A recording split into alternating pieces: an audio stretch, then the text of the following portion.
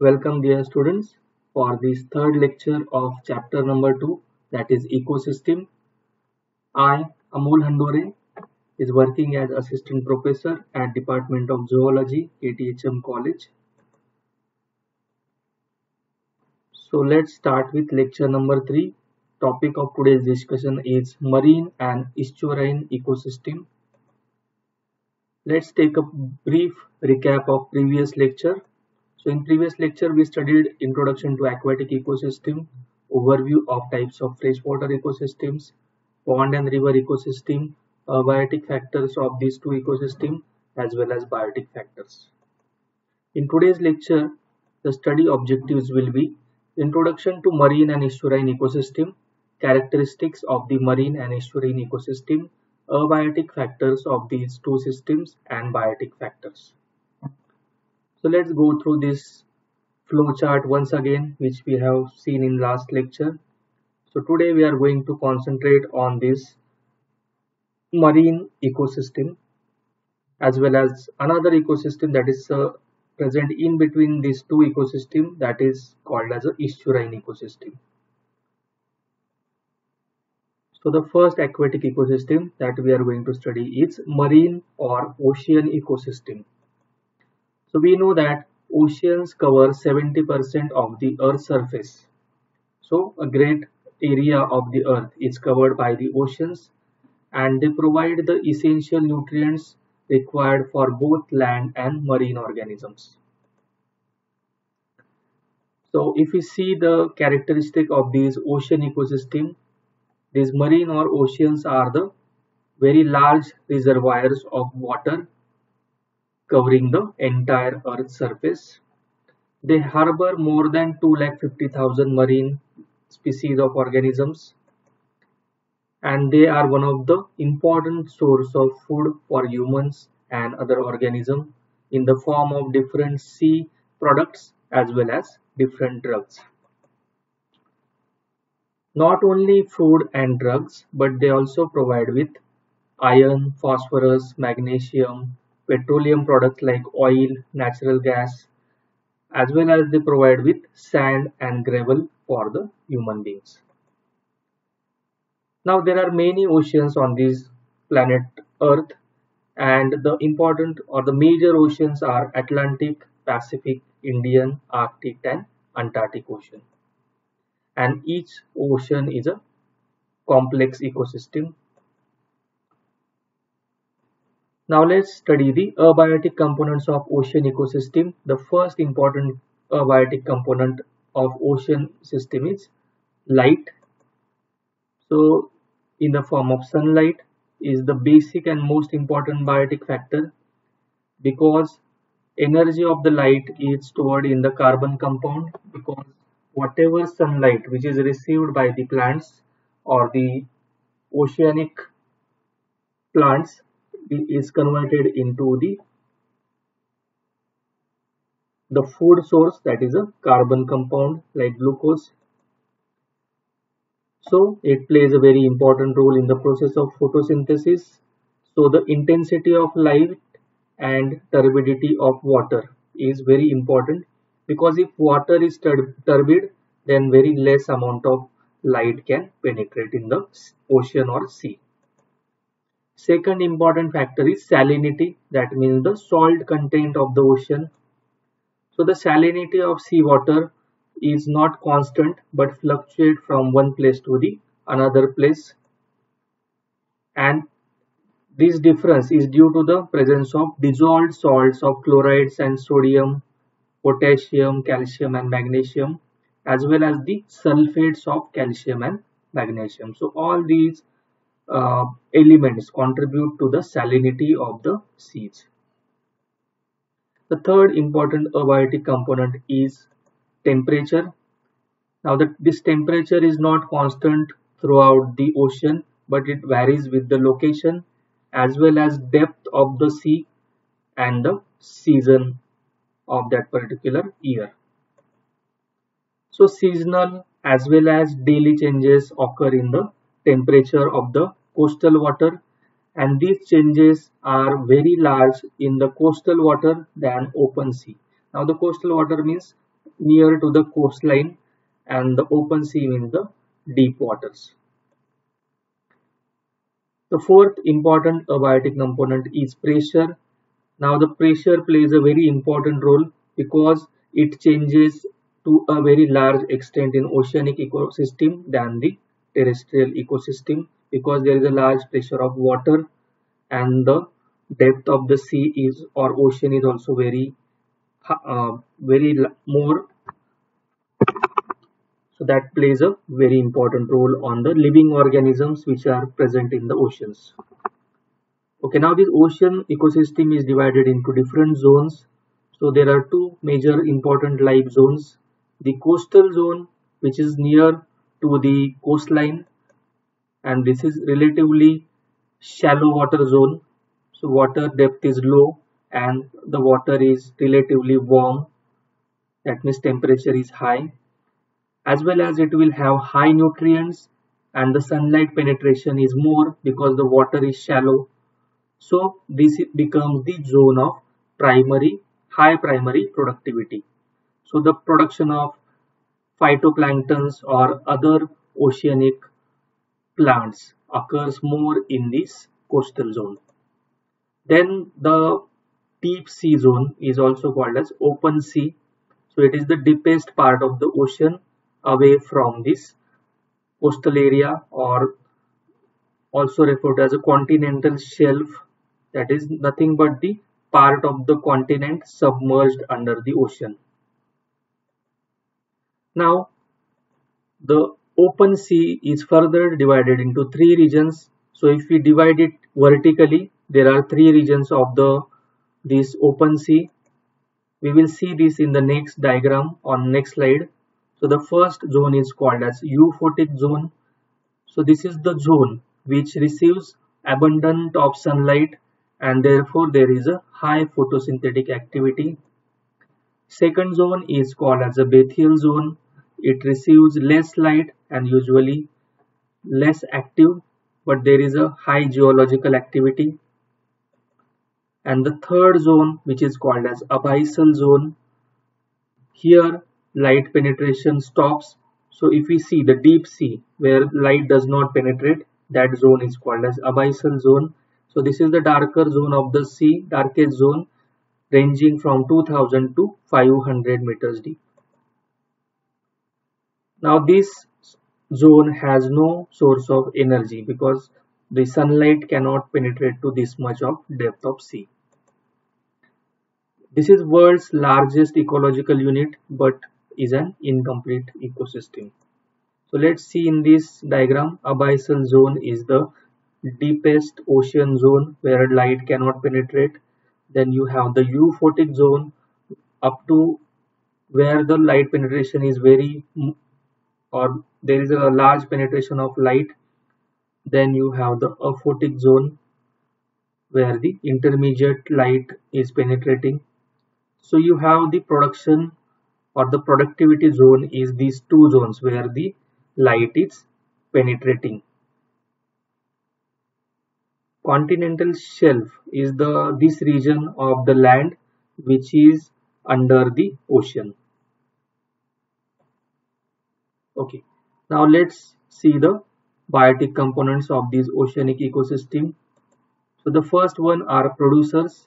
So primary productivity of the ocean ecosystem is chiefly controlled by these producers such as it includes uh, mainly the smaller plants like green flagellates, microscopic algae, diatoms and other major phytoplanktons which are present in the different zones of the sea. Then seaweeds like brown and red algae are the one of the important primary producers because they can produce their own food by trapping the sunlight. So biomass of these primary producers is low as compared to the macro consumers. Now let's come to the second biotic component that those are called as consumers. So the consumers are nothing but the organisms which are dependent on the producers they are also called as heterotrophic organisms so there can be two types of heterotrophs micro heterotrophs and macro heterotrophs that means depending on their size. So they occupy different levels in the food chain. So the major consumers of ocean ecosystems are smaller fishes followed by mollusk crustaceans.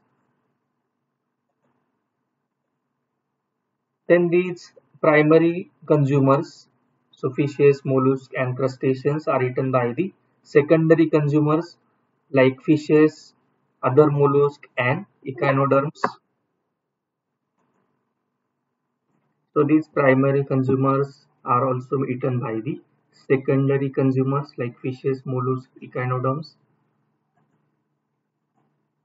And then you have the top carnivores which are eating these fishes, mollusks and echinoderms like sharks, cods, halibuts and other larger mollusks like octopus, squids, which can eat both primary and secondary consumers. So this is all about the major biotic components. Now the last biotic component of ocean ecosystem are obviously the decomposers or saprophytes. So in an oceanic ecosystem, microbes like bacteria and fungi are the important decomposers. So they are actively involved in decaying the dead organic matter. So everything that is dead is converted or broken down by these consumers so they act as a major decomposers of the oceans so let's look at some pictures of the organisms seen in the ocean so we can see diatoms which are microscopic organisms then dinoflagellates cyanobacteria or these are also called as blue green algae. So all these are microscopic organisms. Then we have copepods which are nothing but zooplanktons. So marine zooplanktons. They, they are very small around one millimeter in size. Then krills which are nothing but the larvae of the prawns. Then you have ctenophores which are nothing but the different forms of comb jellies. You can come across jellyfishes so different species of jellyfishes larvae of different organisms. So echinoderms mollusk crustaceans so all sort of larvae can also be the important components of this ecosystem. And you can come across other zooplanktons which are specifically seen in the marine ecosystem. And then you come across the largest carnivores like sharks and larger fishes okay so this is all about the oceanic ecosystem. We move to the second part of today's discussion that is estuarine ecosystem. So here you can see a estuary. So what is estuary? Let's have a look. So these are some other pictures. So estuary is nothing but the area where the uh, your river meets with the sea. So in between you have this ecosystem that is called as estuary so it involves different types like salt marsh mangrove forest. So this is a type of mangrove forest plants. These are the marshes. So let's look at the some important characteristics of estuarine ecosystem. So the most dominant feature of estuarine environment is fluctuation in salinity. So the salinity is not constant, it keeps on changing. They are dominated by the muddy substrates. So it includes the deposition of lot of mud. So they are rich in organic content as well as there is accumulation of this organic content is very rich so you can see the surface water have greatest temperature and the deeper water is bit cooler. So all the important abiotic component of estuarine ecosystem like salinity, texture of the substrate, temperature, organic matter, or available oxygen, all these are controlled by the wave action or the current of the waves of estuary. And finally, the wave action in estuaries is small. As a result, there is continuous deposition of the sediment. And since there is mud in the form of the sediment the plant can grow. So all the deep rooted plants can grow in this estuarine ecosystem. Let's see some other characteristics of estuarine ecosystem. So all the rivers and lake ultimately drain into sea. We know that all rivers and lake ultimately they meet to the sea. However many rivers develop specialized zone before joining the sea so the area when the river joins the ocean or sea, that area of transition is called as estuary. So estuary is nothing but a transitional zone between river and the sea. So it represents a ecotone. Ecotone is a transition area between two ecosystems. So here we have river ecosystem and a ocean ecosystem. So the transition area is called as a ecotone and therefore since it is a uh, transition area we see the features of both the ecosystem. So the organisms so estuaries are considered as most productive ecosystems of the world. Now let's study the biotic and abiotic factors of estuarine ecosystem. First, we will see the abiotic factors. So these include wave current, salinity, temperature, amount of sunlight, types of soil as well as the turbidity. Let's see the first factor that is wave action. Now since there is a movement of two currents that is estuary is nothing but an area where you have the river meeting with the sea. So you have the wave current that is formed as a result of sea as well as movement of the fresh water and to, due to this there are various variations which occur in terms of salinity the texture of the substrate that is the silt and sediment temperature organic matter as well as available oxygen. So all these factors are controlled by the wave current.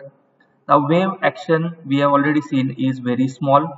So that due to this there is deposition of sediment and development of rooted plants which we have already discussed. Next important factor is salinity. So since it is a transition zone estuary is a transition zone where the fresh water meets with the salty water of sea so continuously there is change in the salinity of estuarine water. So that will depend upon even the season as well as the climatic conditions. So during rainy season when the rivers are flooded so all the fresh water will come to the estuary area therefore salinity will decrease. If there is any storm then under such condition the salty water will enter into the estuary. So the salt salinity of the estuary will increase. Now most in most of these cases so salinity is continuously fluctuating between high to low salinity next important factor or abiotic factor is turbidity so as the turbidity of water increase Obviously the sunlight will not penetrate to the bottom. Therefore the production or primary productivity of plants and other producers will decrease. So it will result into less number of consumers that is secondary, primary or tertiary consumers. On the other hand, if there is less turbidity, the sunlight can penetrate up to the bottom. There will be more production of the producers and the ecosystem will be more healthy. So in, in this sense, turbidity decides the primary productivity of estuarine ecosystem and this turbidity also varies. This turbidity is minimum near the mouth of the estuary and it increases with the distance from the inland.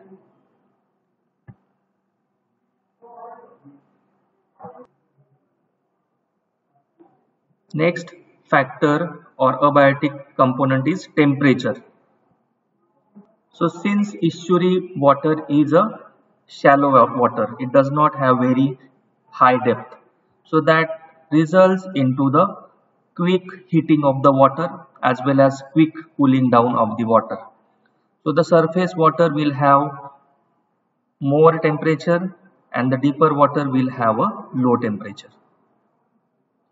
As well as there is seasonal variation. So as per the month of the year the temperature will keep on fluctuating and you can have this curve of temperature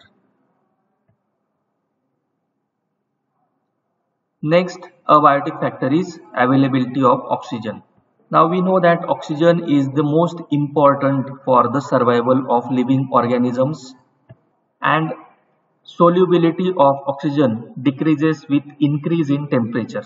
So as the temperature of water increases, less oxygen can dissolve in water. So, and due to the salinity of this estuarine water, it heats up very quickly. So that results into less oxygen dissolve in this estuarine water and that results into condition that is called as anoxic condition that means the water oxygen level is decreased and the oxygen demand of the this water is increased so oxygen is severely depleted under estuarine condition. So whatever sediment which is situated at the bottom will have a low concentration of oxygen. So only those organisms which can survive under low oxygen condition like shrimps or other crustaceans like crabs they can only survive in under such low oxygen conditions so if we see the overall biotic components of this estuarine ecosystem it is very it is quite rich so you have the uh, microflora in the form of microbenthos or the zooplanktons, phytoplanktons. Then you have the macrofauna in the form of invertebrates like echinoderms, mollusk. Then followed by you have the uh, larger carnivores like fishes and then you have predatory fishes which are more larger fishes followed by the even birds. So these are called wader birds which feed onto the smaller fishes and crustaceans. So the major biotic component of estuarine ecosystem are the producers. So first of all estuarine community is a mixture of three components that is marine ecosystem, freshwater ecosystem and a mixture of these is called as a brackish ecosystem. So brackish water means what?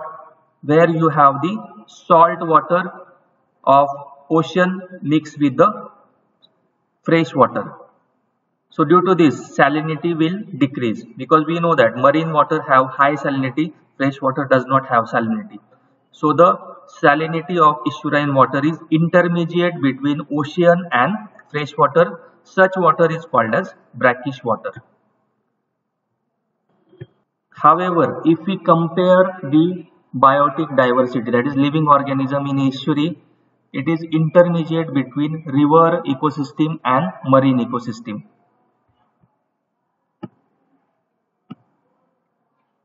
Okay, so the major producers of the estuarine ecosystem includes four important types that is phytoplanktons which are microscopic organisms. Then you have marsh vegetation mud flat algae. So algae is the one of the important uh, producers of this estuarine ecosystem. And then you have some epiphytic plants Now the turbidity plays very important role in the growth of uh, these producers. If we have seen if turbidity is more less light will penetrate and less photosynthesis will occur. So plants they photosynthesize using the sunlight and they are the major producers. Even seasonal variation is there. So you see certain important marine algae in this estuarine ecosystem that includes ulva enteromorpha chaetomorpha and cladophora. So these are important marine algae. However their population uh, is seasonally variable. They present in one particular season and they disappear in the next season okay so followed by the producers you have the primary consumers and secondary consumers. The primary consumers are in the form of vertebrates. Sorry invertebrates. So these invertebrates will include mollusks echinoderms followed by the larger fishes which feed onto these invertebrates and echinoderms. So they are secondary consumers and you have tertiary consumers in the form of predatory fishes that is larger fishes which feed on smaller fishes or mollusks. And the last component of estuarine ecosystem are decomposers or saprophytes so which break down the dead bodies of organisms. So these decomposers are nothing but bacteria in the estuarine ecosystem so they are in large number and uh, they carry out the breakdown. So they are the recycling members. So they break down the dead bodies of organisms and uh, all the organic material present in the bodies are converted into inorganic form. So these inorganic components can be further or reused. They are reusable by the plants so there occurs cycling of the nutrients. So this is all about the estuarine ecosystem. So in today's lecture we studied about the two types of ecosystem that is marine or ocean ecosystem what are the characteristics of it and what are the biotic as well as abiotic factor of ocean ecosystem. Followed by we understood what is mean by estuary. So this is the transition area between river and ocean where the salinity is intermediate and we studied characteristics of estuarine ecosystem followed by the biotic and abiotic factors of estuarine ecosystem. In the next lecture, we will study terrestrial ecosystem. So we conclude today's lecture. Thank you for your patience hearing.